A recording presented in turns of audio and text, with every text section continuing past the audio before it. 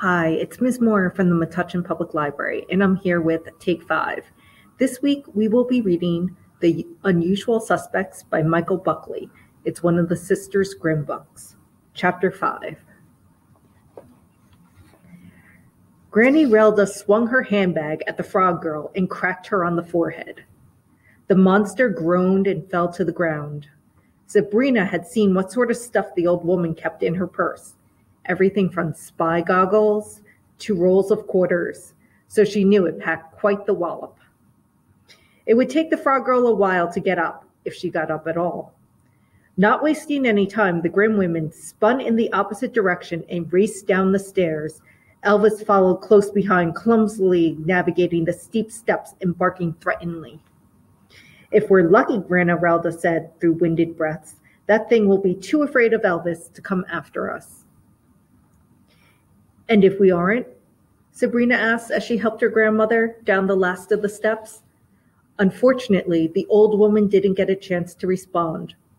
The frog girl bounced down on the steps and onto a nearby wall, sticking like a suction cup. Elvis stood his ground, baring his teeth at the monster, daring her to come closer. Your puppy isn't very nice, the frog girl croaked, but he'll digest in my belly as quickly as the three of you. Daphne stepped forward and flashed her shiny new deputy's badge.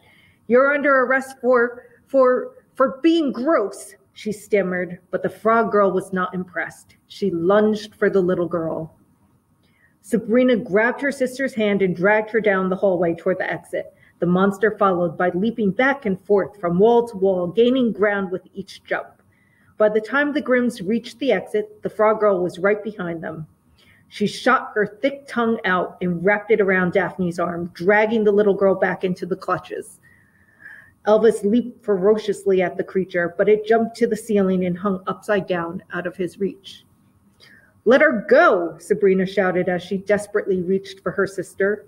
The frog girl let out a sickening giggle and continued to dangle Daphne right above Sabrina's grasp.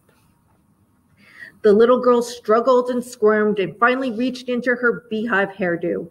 She yanked a protractor from her sticky locks and stabbed the frog's tongue with it. The monster shrieked and Daphne fell, knocking Sabrina to the ground. I hope you like that part of chapter five from The Sisters Grimm, The Unusual Suspects by Michael Buckley. Feel free to check this book out and other books from the Metuchen Public Library. See you next week.